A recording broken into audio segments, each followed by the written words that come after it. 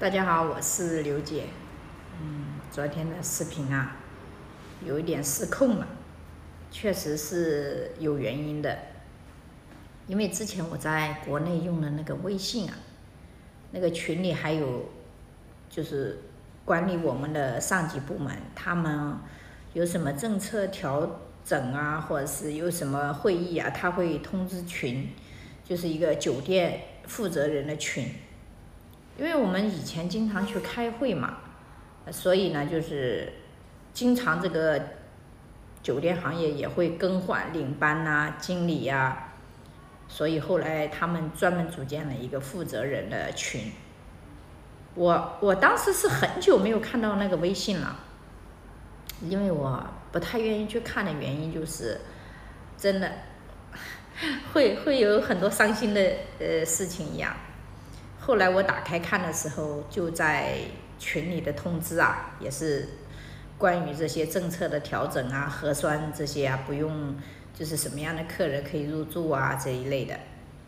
我后来就跟私下里跟就是管理我们的领导啊说了，我说这个店我已经呃很久没有开了，我说 我忘了退群了，嗯。他后来就说：“哦，他说没事，因为正常他们有通知我会要回复收到，所以这么久我也没回复过，他也没有怪我，因为毕竟十几年的店了。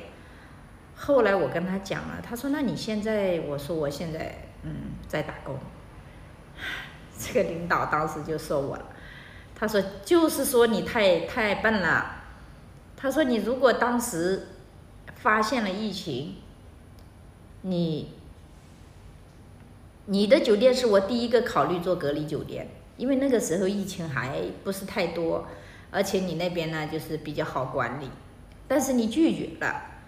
你看你要是做隔离酒店，这这三年别人破产了，你就发财了。哎呀，虽然说这个话是这样说。假如说，当然这个事情肯定是不希望重来了啊！我真的不后悔。我觉得虽然说我现在是很落魄，但是我我问心无愧啦。就是如果是我当时的宾馆给政府做隔离酒店，那我是一二楼，别人另外几层楼。做那个孩子的补习社，那他就要破产。所以说人生啊，就是这样。我在想，老天爷就是考验人。你看这个，如果不是疫情啊，我肯定也不会出国，也不会来到这个遥远的国度新加坡，也不会结识一些朋友，对吧？所以事情已经发生了。其实我流泪呢，嗯，也是领导的那一番话，让我一下子就想起了这一年以来经历的很多事情。有一些我是可以跟视频里跟大家分享，有一些我就没有分享，因为刚开始我也是毫无保留的分享，但是还是有一些好心的。